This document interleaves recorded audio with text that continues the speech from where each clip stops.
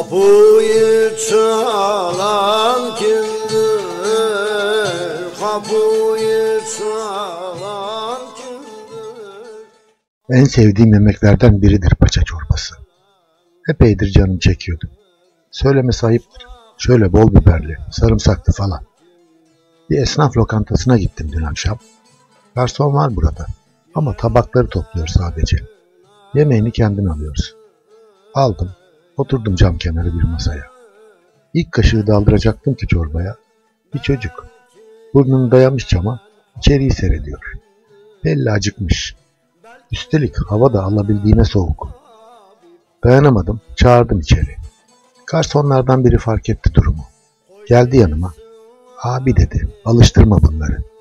Biz ayaklarını kesmek için çok uğraştık. Mahallenin arsız kedileri gibi.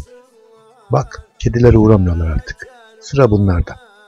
Üstelik kediler yemek ısmarlamayınca arkandan küfretmiyorlardı bunlar gibi. Sinirlendim bunları duyunca. Bu küfür afiyet olsun demek gibi bir şeydir aç karnına. Boş mideye o kadar çıkıyor ağızdan dedim. Ve birer çay söyledim. Kendime ve çocuğa. Garson öylece kala kaldı bir süre. Sonra çevirdi bakışlarını benden yana. Eğildi masaya ve usulca. Abi, komünist misin sen? Yoksa deyiverdi.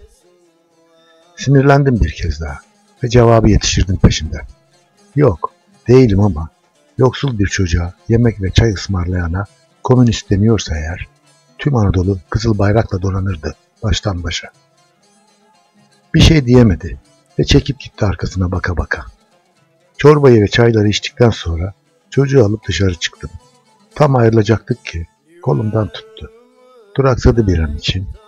Soğuk hava ellerini hohladı, başını kaşıdı, bir o yana baktı, bir bu yana.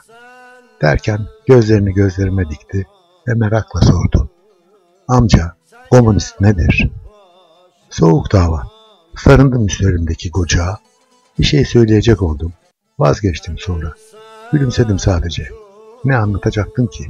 El kadar çocuğa. Çok oldu Candan sevdiğin hamur